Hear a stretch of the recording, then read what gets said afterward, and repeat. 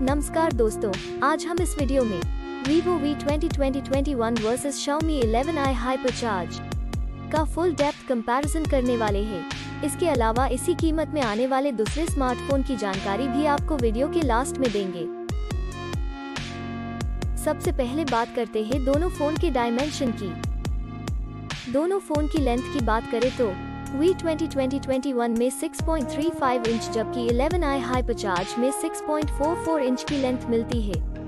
With की बात करें तो V 20 2021 में 2.92 इंच जबकि 11i Hypercharge में 3 इंच की विथ मिलती है। बात करें थिकनेस की तो V 20 2021 में 0.29 इंच जबकि 11i Hypercharge में 0.33 इंच की थिकनेस मिलती है जो कि V 20 2021 से ज़्यादा है। अब बात करते हैं वेट की तो। वी 2020-21 में 171 ग्राम्स जबकि 11i हाइपरचार्ज में 204 ग्राम्स का वेट देखने को मिलता है, जो कि वी 20 2021 से ज़्यादा है।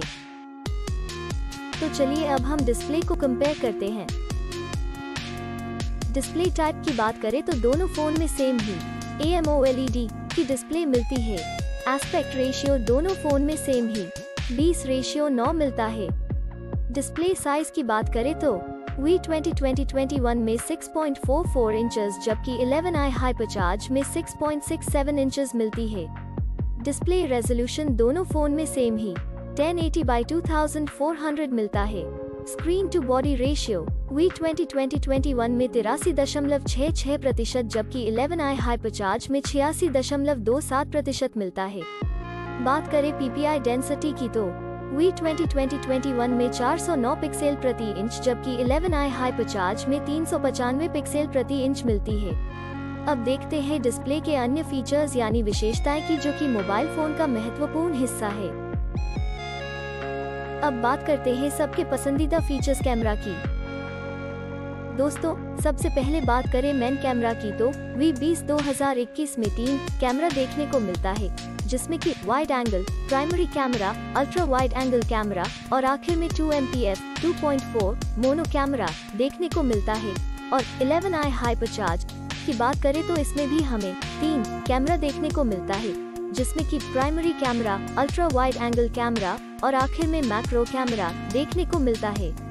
बात करें वीडियो कैमरा की तो वी 2020-21 में सात डिफरेंट टाइप के फीचर्स मिल जाते हैं। और 11i हाइपरचार्ज की बात करें तो उसमें नौ डिफरेंट टाइप के फीचर्स मिल जाते हैं।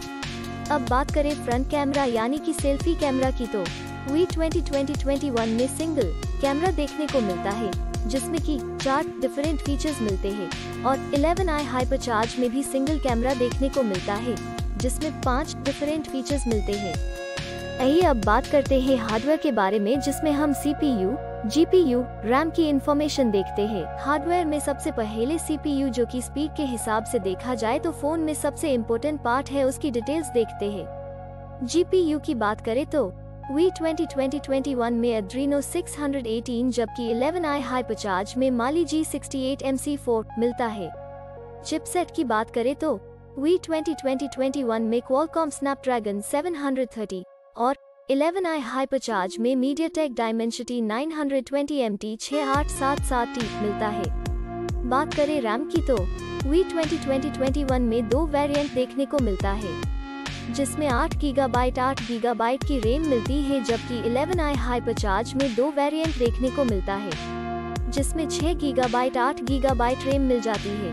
बात करें इंटरनल मेमोरी, जिसको हम स्टोरेज भी कहते हैं वो। वी 2020-21 में दो वेरिएंट देखने को मिलता है, जिसमें 128 गीगाबाइट 256 गीगाबाइट की स्टोरेज मिलती है, जबकि 11i हाइपरचार्ज में दो वेरिएंट देखने को मिलता है, जिसमें 128 गीगाबाइट 128 गीगाबाइट स्टोरेज मिल जाती है। एक्सपैंडेबल मेमोरी दोनों फ़ोन में अप टू वन टेराबाइट है। ऑपरेटिंग सिस्टम दोनों फ़ोन में एंड्रॉइड V11 देखने को मिलती है। बैटरी वी 2020-21 में 4000 mAh जबकि 11i हाइपरचार्ज में 4500 mAh देखने को मिलती है। आइए अब मेन फीचर को देखते हैं।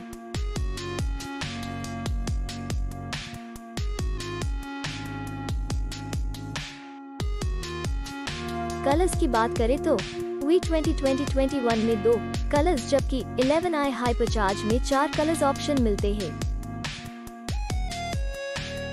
सब इन्फॉर्मेशन देखने के बाद बात करें प्राइस की तो। V twenty twenty twenty one में दो वेरिएंट देखने को मिलते हैं, जो कि 8 गीगाबाइट रैम 128 गीगाबाइट स्टोरेज के साथ बाईस हज़ार नौ सौ नब्बे रूपीज आठ गीगाबाइट रैम, दो सौ छप्पन गीगाबाइट स्टोरेज के साथ छब्बीस हज़ार चार सौ नब्बे में मिल जाता है। वही अगर बात करें 11 आई हाइपरचार्ज की तो उसमें दो वेरिएंट देखने को मिलते हैं, जो कि 6 गीगाबाइट रैम 128 गीगाबाइट स्टोरेज के साथ छब्बीस हज़ार नौ सौ निन्यानवे रूपीज आठ गीगाबाइट रैम 128 गीगाबाइट स्टोरेज के साथ अट्ठाईस हज़ार नौ सौ निन्यानवे रूपीज में मिलते हैं। दोस्तों, अब बात करते हैं प्रॉन्स एंड कॉन्स, यानी कि फ़ायदे और नुकसान की तो।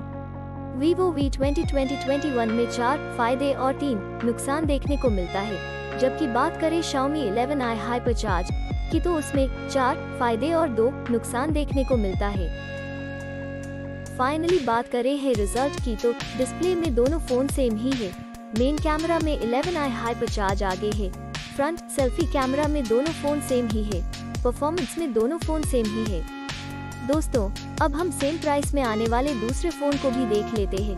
पहले कॉम्पिटिटर फ़ोन की बात करें तो उसमें Vivo Y73 2021 है, दूसरा Vivo Y33s है, तीसरा Oppo A55 है और लास्ट कॉम्पिटिटर फ़ोन की बात करें तो उसमें लावर अग्नि 5G है। और ये सारे फ़ोन की डिटेल्स आपको डिस्क्रिप्शन में मिल जाएगी। दोस्तों, अगर आपको ये वीडियो अच्छा लगा है या आपके किसी भी काम में आया है तो प्लीज़ लाइक करना मत भूलना।